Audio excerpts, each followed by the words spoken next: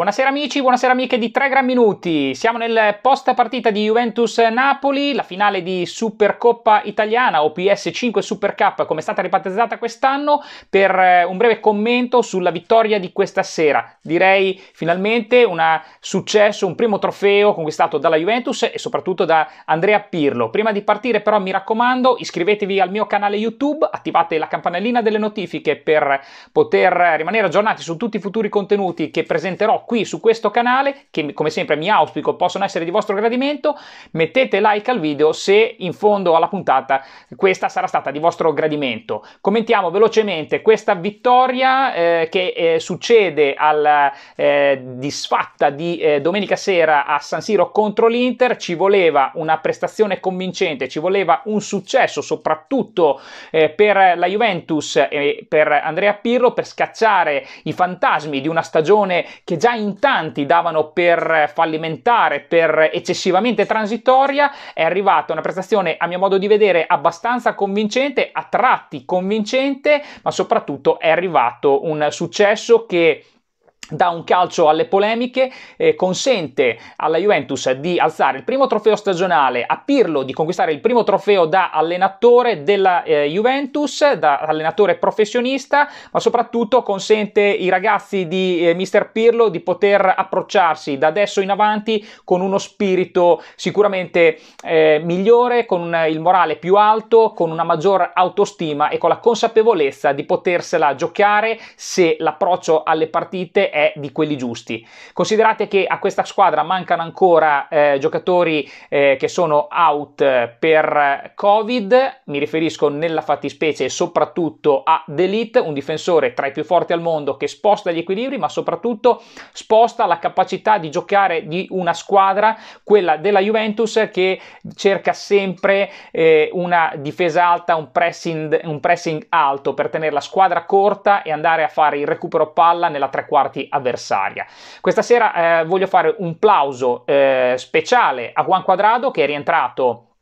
eh, dopo un eh, paio di settimane escluso dalla positività al Covid, il doppio tampone ha consentito al colombiano di essere disponibile, colombiano che si era allenato eh, da solo chiaramente nel periodo di isolamento a casa e che si è presentato questa sera disponibile e in campo offrendo eh, una prestazione sontuosa, autore dell'assist del secondo gol di Alvaro Morata, ma soprattutto di grandi letture sia difensive sia eh, nella fase offensiva offensiva per tutto l'arco della partita. L'out di destra è stato di suo eh, assoluto dominio, coadiuvato molto bene dallo statunitense McKenny eh, e quindi per Juan Quadrado va, eh, a Juan Quadrado va la mia palma di eh, migliore in campo. Molto bene anche eh, Wojciech Cesny che ha un grandissimo limite nelle uscite fuori dalla porta, ma eh, tra i pali eh, resta comunque tra i migliori portieri al mondo e questa sera anche per istinto, anche per fortuna, ma ci vuole anche quella, ha esibito due, due interventi decisivi e risolutori perché sullo 0-0 ha eh, evitato il gol di, di, Lozano che di testa da pochi passi aveva battuto a colpo sicuro e sull'1-0 dopo il calcio di rigore fallito da Insigne il Napoli aveva avuto l'occasione per eh, rimetterla in sesto proprio a pochi minuti dalla fine. Miracolo di Scesni capovolgimento di fronte rete di eh, Morata. Partita chiusa 2-0 per la Juventus che alza la Supercoppa italiana o PS5 eh, Super Cup e quindi può guardare con una maggior serenità al eh, futuro. Domenica domenica. All'ora di pranzo all'Allianz Stadium sarà di scena il Bologna, la Juventus deve ricominciare a correre per tornare quanto prima eh, nelle, vette, nelle, parti alte della classifica perché questa squadra ha le qualità e le possibilità eh, di eh, farlo. Ehm, un'altra eh, nota di merito la voglio riconoscere a eh, Bentancur, tanto bistrattato e tanto criticato nell'ultimo periodo per eh, eccessive, un'eccessiva quantità di prestazioni altamente sotto le sue possibilità, questa sera affiancato ad Arthur,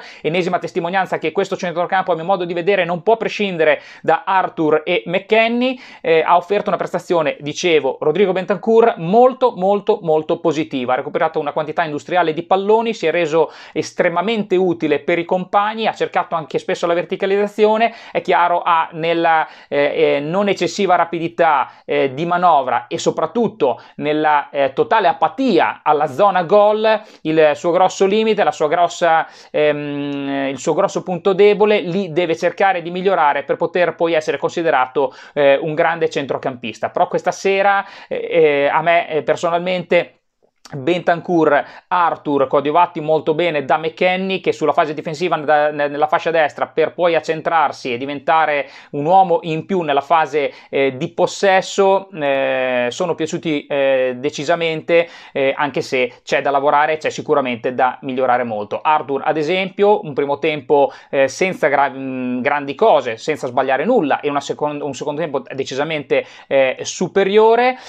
Nota un pochino negativa di questa serata eh, credo possa essere quella di eh, Federico Chiesa, uscito al termine del primo tempo, ma eh, per un problema alla caviglia colpita dura contro il Sassuolo da Obiang e quindi giustificato anche per una condizione fisica non ottimale. Deve migliorare Kuluseschi, questa sera è stato un pochino troppo fumoso, però nel complesso io eh, ritengo che questa sera si possa essere soddisfatti. Eh, solitamente siete tutti bravi eh, o in tanti sono bravi a criticare la Juventus, la dirigenza, Pirlo per le eh, miriade di mancanze che scrivete qui sotto ai video e che io ovviamente commento e apprezzo che voi lo facciate perché comunque il confronto è sempre un motivo di crescita e eh, di eh, eh conoscenza dei pensieri diversi dal proprio, eh, però ecco eh, io credo che andrebbe mm, utilizzato un maggiore equilibrio, la critica ci sta, è giusto perché ognuno ha una veduta sua ed è giusto che la esprima, però a volte vi, vi sento e vi leggo un pochino troppo catastrofici nei confronti di una società che per nove anni ha regalato delle grandissime soddisfazioni ai propri supporter, ai propri tifosi,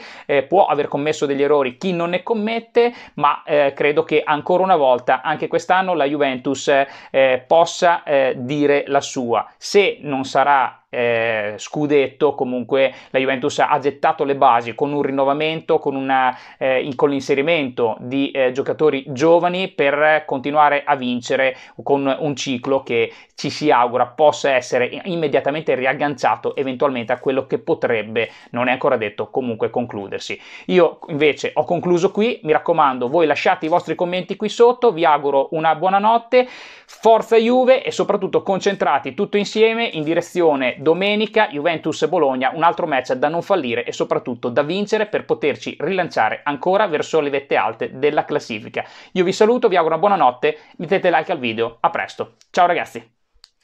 Iscrivetevi al mio canale YouTube, mettete like al video, seguitemi sui social che vedete qui accanto e ci vediamo al prossimo video. Ciao!